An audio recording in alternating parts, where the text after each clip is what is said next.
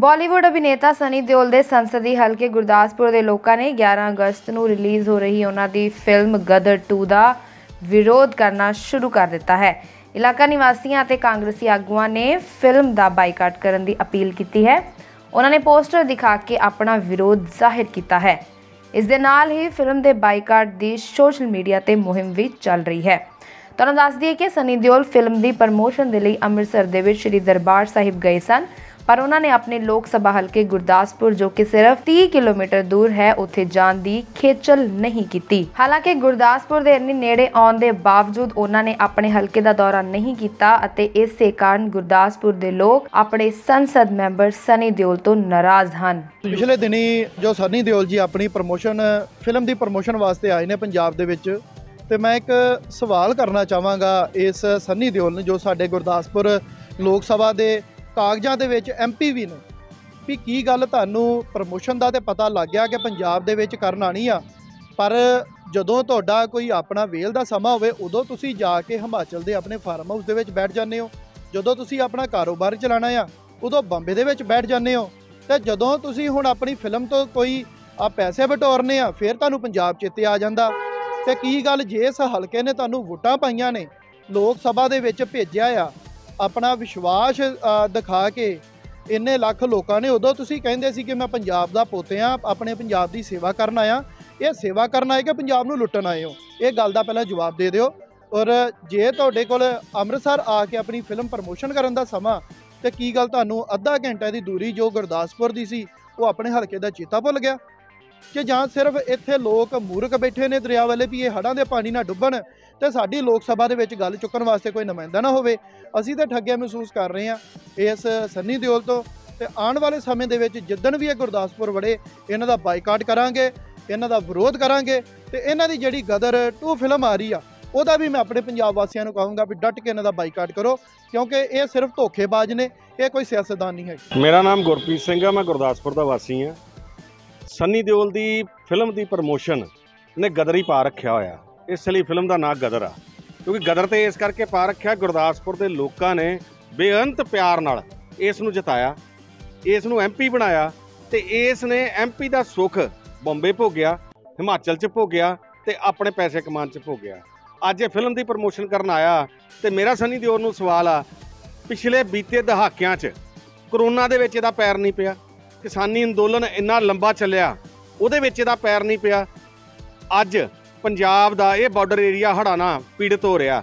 ਉਹਦੇ ਵਿੱਚ ਇਹਦਾ ਪੈਰ ਨਹੀਂ ਪਿਆ ਤੇ ਇਹਨੂੰ ਤੇ ਸਿਰਫ ਆਪਣੇ ਪੈਸੇ ਤੇ ਆਪਣੀ ਫਿਲਮ ਨਾਲ ਮਤਲਬ ਹੈਗਾ। ਮੈਂ ਪੂਰੇ ਗੁਰਦਾਸਪੁਰ ਵਾਸੀਆਂ ਨੂੰ ਅਪੀਲ ਕਰਦਾ ਕਿ ਇਹਦਾ ਬਾਈਕਾਟ ਕਰੋ। ਜੇ ਹਲਕੇ 'ਚ ਦੁਬਾਰਾ ਵੜਦਾ ਤੇ ਇਹਨੂੰ ਭਿਉਂ ਭਿਉਂ ਕੇ ਇਹੋ ਜੀਆਂ ਜੁੱਤੀਆਂ ਮਾਰੋ ਤਾਂ ਜੋ ਇਹੋ ਜਿਹਾ ਬੰਦਾ ਦੁਬਾਰਾ ਸਿਆਸਤ 'ਚ ਨਾ ਆ ਸਕੇ ਤੇ ਉਸ ਪਾਰਟੀ ਨੂੰ ਵੀ ਅਪੀਲ ਕਰਦੇ ਆ ਜਿਹੜੇ ਬਾਹਰੋਂ ਲਿਆ ਲਿਆ ਕੈਂਡੀਡੇਟ ਖੜੇ ਕਰਦੇ ਨੇ। ਕਿ ਸਾਨੂੰ ਲੋਕਲ ਕੈਂਡੀਡੇਟ ਦਿਓ ਤਾਂ ਜੋ ਸਾਡੇ ਲੋਕਾਂ ਦਾ ਦੁੱਖ ਦਰਦ ਸੁਣ ਸਕੇ। ਮੈਂ ਵੀਰਾਵਾਲੀ, ਗੁਰਦਾਸਪੁਰ ਦੇ ਰਹਿਣ ਵਾਲੀ ਹਾਂ ਔਰ ਮੈਂ ਬਹੁਤ ਹੀ ਦੁਖੀ ਹਿਰਦੇ ਨਾਲ ਇਹ ਗੱਲ ਕਹਿ ਰਹੀ ਹਾਂ ਕਿ ਜਦੋਂ ਸੰਨੀ ਦਿਓਲ ਜੀ ਇਲੈਕਸ਼ਨ ਵਿੱਚ ਖੜੇ ਸੀ, ਅਸੀਂ ਘਰ ਘਰ ਜਾ ਕੇ ਇਹਨਾਂ ਵਾਸਤੇ ਵੋਟਾਂ ਮੰਗੀਆਂ ਔਰ ਇਹਨਾਂ ਨੂੰ ਜਿਤਾਇਆ।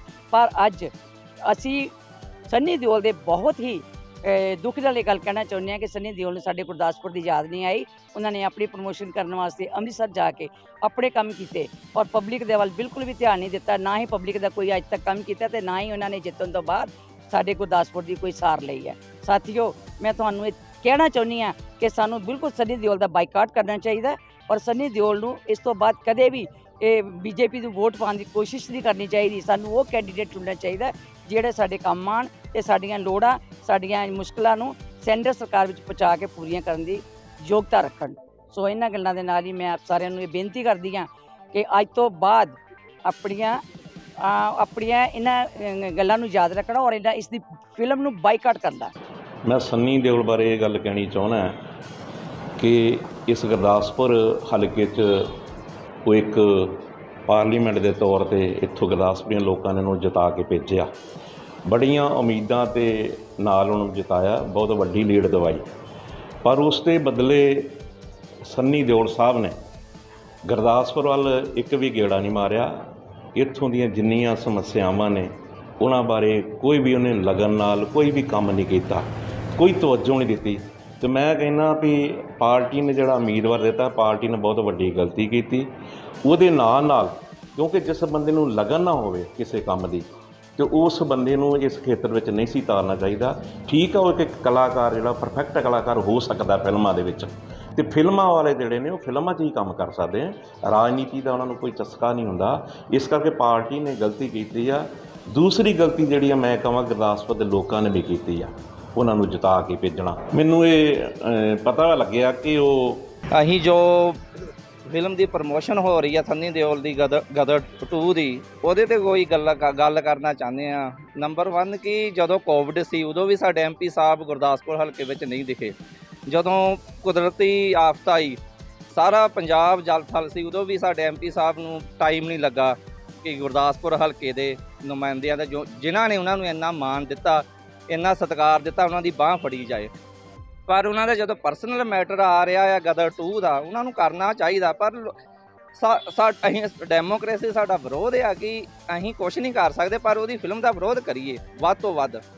ਅਗਲੇ ਨੂੰ ਅਹਿਸਾਸ ਹੋਵੇ ਕਿ ਇਹ ਵਿਰੋਧ ਕਿਉਂ ਹੋਇਆ? ਇਸੇ ਲਈ ਸਾਰੀ ਜਨਤਾ ਨੂੰ ਅਪੀਲ ਆ ਜੀ, ਆਪਣਾ ਹੋਰ ਨਹੀਂ ਕੁਝ ਕਰ ਸਕਦੇ, ਆਪਾਂ ਉਹਨਾਂ ਨੂੰ ਮਾਨ ਦਿੱਤਾ 19 ਚ।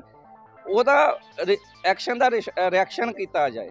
ਕਿ ਆਪਾਂ ਗਦਰ ਦਾ ਵਿਰੋਧ ਕੀਤਾ ਜਾਏ ਕਿ ਅਗਲੇ ਨੂੰ ਅਹਿਸਾਸ ਹੋਵੇ ਕਿ ਮੈਂ ਜੋ ਨਹੀਂ ਕਰ ਪਾਇਆ, ਲੋਕੀ ਉਹ ਕਰ ਪਾ ਰਹੇ। ਹੋਰ ਨਵੀਆਂ ਖਬਰਾਂ ਦੇਖਣ ਦੇ ਲਈ ਸਬਸਕ੍ਰਾਈਬ ਕਰੋ PBX ਨਿਊਜ਼ ਦਾ ਅਫੀਸ਼ੀਅਲ YouTube ਚੈਨਲ